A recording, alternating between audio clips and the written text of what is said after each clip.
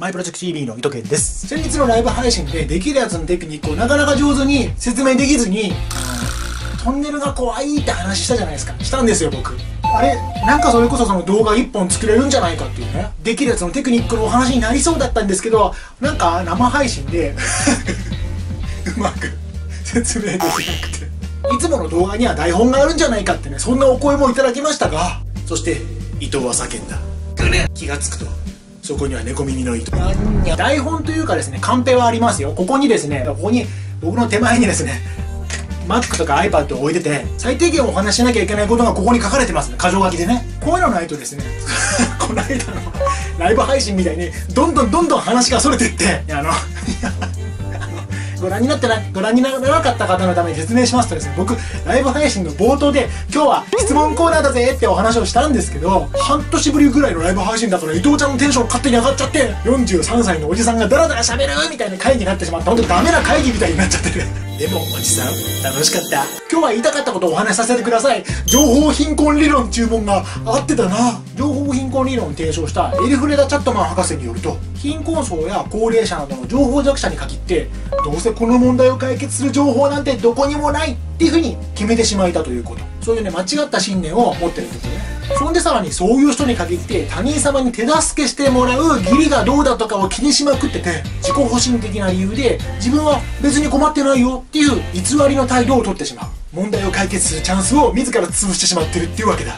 結果としていつまでたってもいろんな問題が解決できないので経済的にも貧困になりがちだしさらにそれが手助けしてくれる側との間に壁を作ってしまう。ますます孤立してしまったりとかね。要するに情報に乏しい人っていうのは金銭的にも貧しくなってしまうとした理論のこと。どうせこの問題を解決できる情報なんてどこにもないよっていうのがこの理論のポイントなんだけど僕らの周りにはですね案外いろんな情報が溢れてまして自分の抱える問題を解決する方法なんていくらでもあるんですよ。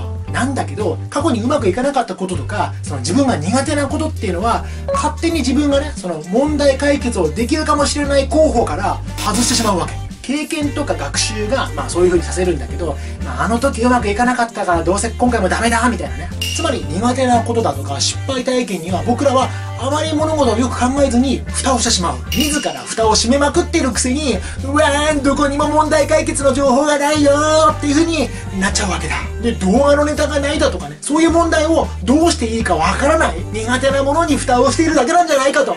トンネルが苦手な伊藤ちゃんはトンネルで動画を撮ることに蓋をしてるだけなんじゃないかと。え？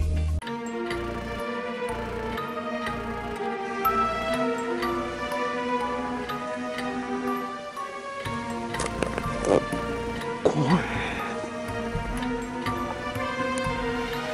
怖え怖え怖えめっちゃ向こうまで続い。てるけど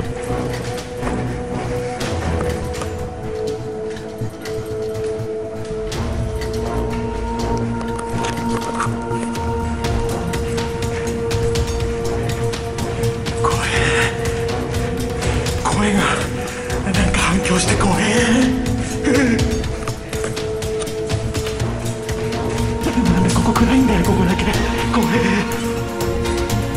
うん。こうん。こうん。こうん。こうん。こうん。こうん。こしっこうん。こうん。こうん。こうん。こうん。こうん。こうん。こうん。こ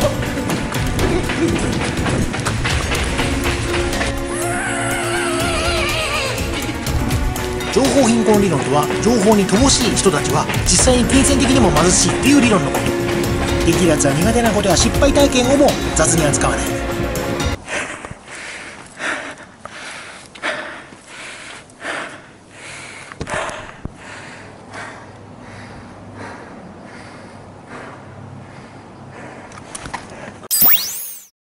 心霊スポットみたいなトンネルなんて論外なんですけどこれでね普通のトンネルぐらいはね克服克服 克服できたのかなって動画のネタがないっていう問題にトンネル動画を撮るっていう解決法に蓋をしてた伊藤ちゃん。こんな感じで苦手体験ってとか失敗体験っていうのは蓋をされがちなわけなんですけど逆に得意なこととか成功体験っていうのは仮に対して問題解決につながらなくともむしろやりたくるっていうのが人間ってもんだ。問題に直面した時に全然問題の本質は違うのに過去にうまくいったやり方で今回はやろうとしてしまうっていうとこね。この辺は改めてご紹介させていただきます。ねできるやつは苦手なこと失敗体験を安易に解決法の候補から外さない。